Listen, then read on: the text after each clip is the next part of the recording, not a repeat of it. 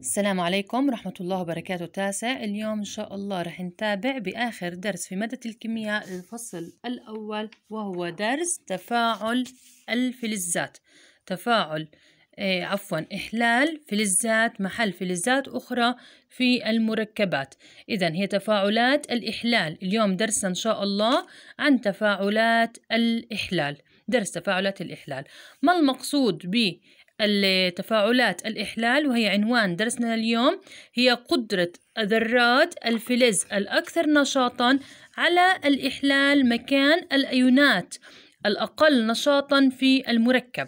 يعني كيف مس هذا الدرس؟ عندنا هون رح يكون في عندنا تفاعل بين مركب وفلز. الفلز الأكثر نشاطا سوف يحل محل الفلز محل هذا الأيون الفلزي في المركب. إذا عند تفاعل فلز أكثر نشاطا مع محلول فلز أقل نشاطا فإنه سوف يحل محله في المحلول. أما في حال إذا تفاعل فلز أقل نشاطا مع محلول فلز أكثر نشاطا فلا يحل محله ولا يحدث تفاعل. طب كيف أنا بدي أعرف إنه هذا الفلز أنشط من هذا الفلز؟ رح نرجع نحكي إنه إحنا هون رح نعتمد على درس سلسلة النشاط الكيميائي. كنا نرتب الفلزات من الأقل نش... من الأعلى نشاطا إلى الأقل نشاطا وجمعناهم في كلمة يا تاسع. هي بصل كم أخ حرهن فذ؟ بصل اللي هي باء بوتاسيوم صاد صوديوم لام ليثيوم اللي اللي الكاف اللي هون كالسيوم مغنيسيوم ألمنيوم خرسين الحاء هنا حديد الراء هي عبارة عن الرصاص هيدروجين نحاس فضة وذهب إذا رتبنا هذه الفلزات من الأعلى نشاطا إلى الأقل نشاطا. راح نعتمد يا تاسع على هذه الترتيب السلسلة النشاط الكيميائي في درس تفاعلات الإحلال. درسنا لليوم. خلينا نشوف مثال مع بعض. عندنا هنا مغنيسيوم زائد عندنا المركب كلوريد النحاس. كلوريد النحاس. وعندنا هون مغنيسيوم. اعتمادا يا تاسع على سلسلة النشاط الكيميائي. هلا إحنا الدرس أن الفلز يحل محل عندنا الأيون في هذا الأيون الفلزي في هذا المركب. مين عندنا هون الفلز في هذا المركب؟ عندنا النحاس. ليش ما حكينا كلور؟ لأن الكلور هو عبارة عن لا فلز. أما النحاس هو الفلز. عندنا المغنيسيوم وهو فلز. هل يحل المغنيسيوم محل النحاس؟ نرجع لسلسلة النشاط الكيميائي. إن المغنيسيوم ميم راح يجي مكان النحاس نون. إذا لاحظوا إذا المغنيسيوم موجود قبل النحاس في سلسلة النشاط الكيميائي. إذا هو أنشط منه فبالتالي بحل محله. فالمغنيسيوم رح ياخد محل وياخد مكان النحاس ويطلع النحاس خارج هذا المركب. فشو رح يصير عنا MgCl 2 زائد نحاس وهو النحاس اللي كان موجود في داخل هذا المركب. إذا لاحظ المغنيسيوم أكثر نشاطا من النحاس لذلك حل محله. وطلع عنا النحاس مع النواتج. Okay؟ نشوف مثال آخر. مثال آخر عندنا Zn وهو الخارصين زائد MgSO 4 كبريتات المغنيسيوم. كبريتات المغنيسيوم. عندنا هنا هاي الفلز المغنيسيوم وعندنا هون الخارصين. خلينا نشوف من خلال سلسلة النشاط الكيميائي. أنا عندي شرط. إذا كان الفلز الموجود هنا بشكل منفرد كان أنشط من الفلز الموجود داخل المركب إذا كان أنشط بحل محله. ما كان أنشط لا يحل محله ولا يحدث تفاعل. لاحظ إذا هي عندنا الخرسين إذا هنا. ولاحظ هي المغنيسيوم. المغنيسيوم والخرسين مين أكثر نشاط؟ إذا المغنيسيوم. هل الخرسين سوف يحل محله؟ إذا أكيد لا لأن الخرسين اعتمادا على سلسلة النشاط الكيميائي هو أقل نشاطا من المغنيسيوم. فبالتالي نكتب لا يحدث تفاعل لأن المغنيسيوم أنشط من الخرسين في هذا التفاعل. خلينا نكتب كمان مثال يا تاسع. عندنا بي بي الرصاص زائد AgNO3 نترات الفضة. نترات الفضة. لاحظ نحكي عن الفضة وعن الرصاص. الفضة والرصاص. نرجع لسلسلة النشاط الكيميائي لأنه إحنا رح نعتمد عليها زي ما حكينا. هي الرصاص وعنا حكينا آه الفضة. الرصاص عفوا موجودة هون.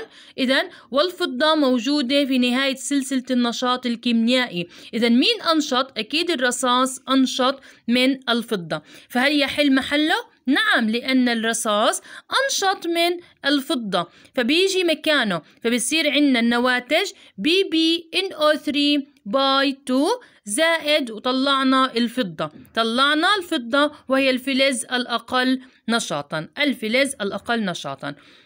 بس في ملاحظة صغيرة يا تاسع. لما الفلز يحل مكان الفلز نتأكد من الشحنة عشان هذا المركب. هلأ في المركبات السابقة كانت شحنة الفلز الذي يحل محل الفلز الأقل نشاطا كان نفس الشحنة. ولكن هنا لاحظ إنه الرصاص عندنا شحنته موجب 2 أما الفضة كانت موجب واحد. فبالتالي والنترات اللي هي NO3 هذه المجموعة النترات شحنتها سالب واحد. زي ما كنا نعمل في درس التفاعل الفلزات بنحط تكافؤ شحنة الرصاص وتكافؤ شحنة النترات. ولاحظ عنا بنضرب ضرب تبادلي. بيطلع معنا الناتج Pb NO3 اللي هي هاي النترات ال NO3 نترات by 2 لأن الشحنات مختلفة طلعنا 2 Ag فبالتالي النشاط الرصاص أعلى من نشاط الفضة فحل محله. إذا هذا هو الجزء الأول من درس تفاعل إحلال فلز محل فلز عندنا كمان جزء بهذا الدرس يا تاسع نفس الفكرة ولكن هنا تفاعلات التنافس على الأكسجين. ما المقصود بهذا التفاعل؟ هذا التفاعل يحدث بين فلز وأكسيد فلز لاحظ بالأمثلة الأولى إحنا كان المركب مش شرط يكون عندنا أكسيد فلز ولكن هنا أكسيد فلز أكسيد فلز أكسيد النحاس أكسيد المغنيسيوم أكسيد الرصاص. عندنا هذا المركب يتكون من فلز زائد أكسجين. نفس الإشي يا مس يحل الفلز الأعلى نشاطا مكان الفلز الأقل نشاطا. فيصبح عندنا أكسيد الفلز للفلز الأنشط. إذا هي نفس الفكرة ولكن عندنا هنا المركب أكسيد الفلز أكسيد الفلز خلينا نشوف كيف مس. عندنا هنا المغنيسيوم وهون أكسيد النحاس. مين أنشط بسلسلة النشاط الكيميائي المغنيسيوم أم النحاس؟ إذا هلأ أكيد صرنا عارفين أنه النحاس أقل نشاطا من المغنيسيوم فبالتالي المغنيسيوم أعلى نشاط فيحل محل النحاس. بصير عندنا ام جي أو ام جي أو وبطرد النحاس برا. فيحل المغنيسيوم مكان النحاس. يحل المغنيسيوم مكان النحاس.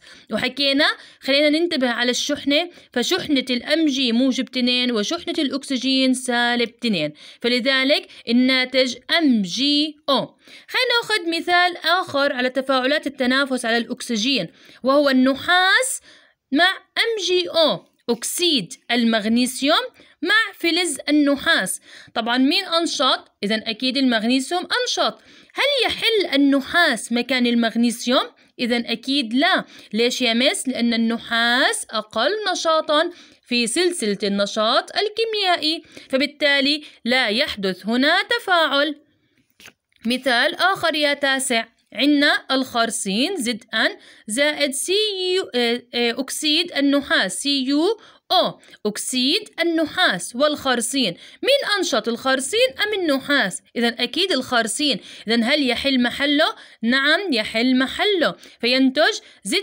أو أكسيد الخارصين ويطرد النحاس مك ويجلس مكانه. فيحل محله. عندنا كمان مثال وآخر مثال النحاس مع أكسيد الرصاص.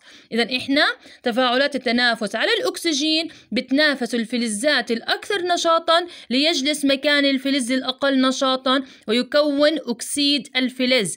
النحاس طبعا أقل نشاطا من الرصاص بالتالي أكيد لا يحدث تفاعل.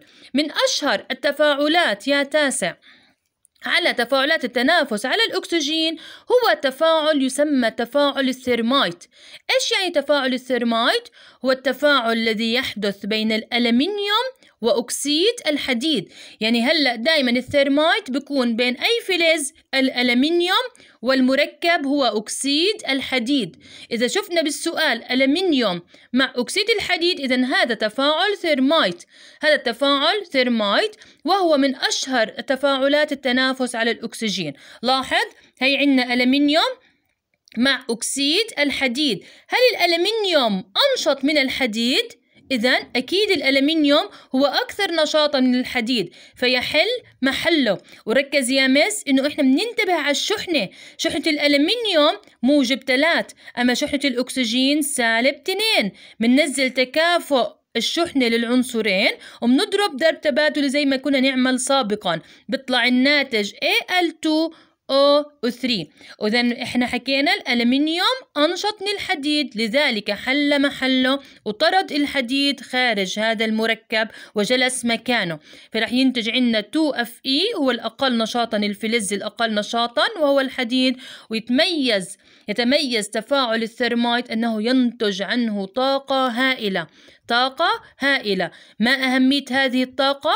هذه الطاقة الموجودة عندنا هون كافية لصهر الحديد كافية لصهر الحديد. وهذا التفاعل يستخدم في عملية لحام قضبان السكك الحديدية والجسور. في عملية حكينا لحام آه، قضبان السكك الحديدية والجسور. إذا لاحظ يا تاسع إذا في هذا في هذه الصورة لاحظ كيف يتم استخدام تفاعل الثيرمايت في لحام خطوط السكك الحديدية. في خطوط السكك الحديدية. إذا هذه أشهر التفاعلات على تفاعلات التنافس على الأكسجين. هلأ سواء كان التفاعل تنافس على الأكسجين أو فلز مكان فلز في مركب سواء كان آه، أكسيد الفلز أو أي مركب آخر الفكرة يا مس أن الفلز الأعلى نشاطا في سلسلة النشاط الكيميائي والأنشط يحل محل الفلز الأقل نشاطا. والسلام عليكم. ورحمة الله وبركاته.